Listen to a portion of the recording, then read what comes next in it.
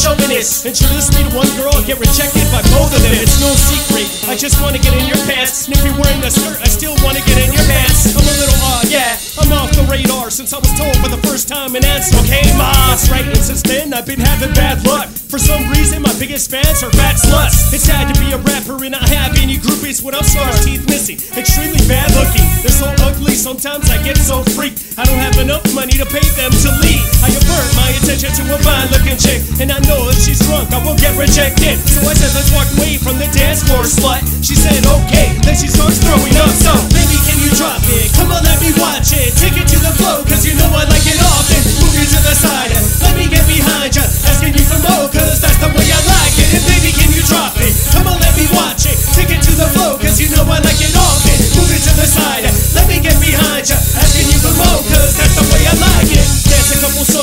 drink a little more. It's time to turn this date into a real life porn. You realize though that I meet a lot of hoes at a show on the road, and I really like blows. They only paid attention if they had a lot to drink, and if they're drunk, then my mind only thinks of one thing. If I'm drunk, then I don't think that I will carry on. If I leave with a butch, that gets probably Elton John. That's when I attempt to hit on her best friend. A few minutes later, says she got a couple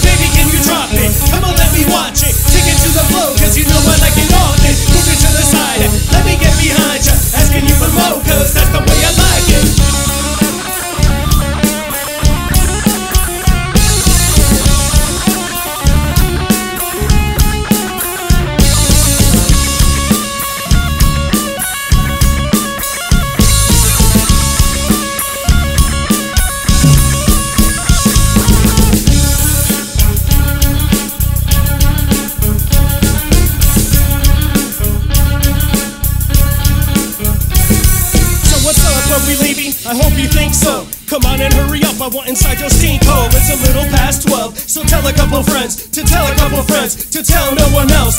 Not too many girls, cause we gotta keep it even. There's about four of us, we need a hundred girls between us. We're not trying to be greedy, we just wanna have enough. Not trying to discriminate, just wanna have a slut. So baby, if you're drunk, then why don't you take your clothes off? I gotta get a nut, so let me get my squirrel on.